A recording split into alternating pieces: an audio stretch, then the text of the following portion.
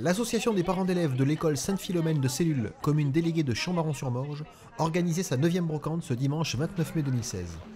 Près de 250 exposants, particuliers et professionnels, se sont installés dès 7h le matin.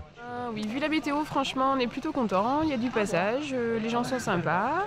Il n'y a pas trop de parapluies, on n'a pas trop besoin de bâcher. euh, c'est pas mal. Franchement, il n'y a pas à se plaindre. À partir de 7h30, on a eu du monde. On a eu euh, beaucoup de personnes en fait qui cherchent bien de- des choses particulières. Donc, c'est ça qui est, intéressant. Et puis tout le monde pose. C'est convivial aussi. C'est très convivial. Donc euh, moi, c'est ce que j'apprécie aussi euh, dans, les brocantes. Moi personnellement j'ai bien travaillé, hein, mais j'étais le seul marchand de fruits. Donc, euh, en plus je travaille avec des produits régionaux, donc ça intéresse beaucoup les gens. Dommage qu'il n'a pas fait assez beau. Euh, sinon la recette aurait été sûrement double. Malgré une météo assez capricieuse, les responsables de l'organisation sont plutôt satisfaits, comme Denis Ribérol, président de l'association, et Céline Ourjdal, la trésorière. Malgré la pluie, on a quand même du monde. C'est la 9e brocante organisée par euh, l'Appel Sainte-Philomène. Donc c'est une école privée Sainte-Philomène. hein. C'est pour financer euh, les sorties scolaires, l'achat de matériel. Et on a donc à peu près 240 exposants. Il faut savoir qu'on refuse du monde en fait. hein. Bon, Aujourd'hui il pleut, donc c'est un petit peu galère, mais euh, on refuse du monde et euh, ça marche très, très bien. On est en train de faire des sandwiches pour, euh, pour nourrir un peu tout le monde, mais euh, on est content, il y a du monde, bon, il y a un peu de vie, en espérant qu'il fasse un peu meilleur cet après-midi. Alors l'argent sert à financer les, les, activités scolaires et acheter du matériel. L'année prochaine, le programme scolaire change, donc on pense acheter des livres essentiellement. hein. Et l'an dernier, ça avait servi à acheter du matériel, euh, des meubles pour les enfants.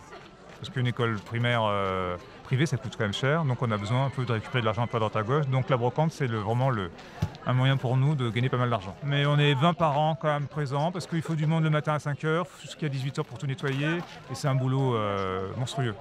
Il faut tout organiser, tout prévoir, c'est beaucoup beaucoup de travail. hein. Euh, Mais bon, ça tourne bien, ça tourne bien, ça se passe bien, une bonne ambiance, et euh, le soir on est content que ça termine quand même, mais bon.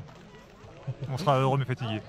Il y a du monde, ça marche. On est aux alentours de 150, 250 emplacements vendus pour une centaine d'exposants. C'est pour l'association des parents d'élèves de l'école Sainte-Philomène. C'est pour offrir aux enfants euh, ben, des voyages scolaires, euh, pouvoir euh, acheter du nouveau mobilier. Enfin, L'argent est reversé à l'école et offert euh, aux enfants de l'école Sainte-Philomène. En fait, les, les papas et les mamans s'investissent beaucoup pour que leurs enfants euh, profitent euh, de, de tout ce qui est récolté ensuite euh, pour les activités. Ça se passe super bien. Et d'ailleurs, c'est pour le bien de nos enfants. Cet investissement des parents d'élèves est vivement salué par le corps enseignant, et notamment Sandrine Gamez, la directrice de l'école. plus que satisfaite puisque c'est des parents d'élèves qui organisent tout de A à Z. Et nous, on est là en tant qu'enseignante et euh, directrice pour aider euh, l'association de parents d'élèves puisque c'est au bénéfice des enfants. Comme pour les éditions précédentes, la manifestation accueille un bon nombre de visiteurs et met en lumière une nouvelle fois le dynamisme et l'implication du tissu associatif local.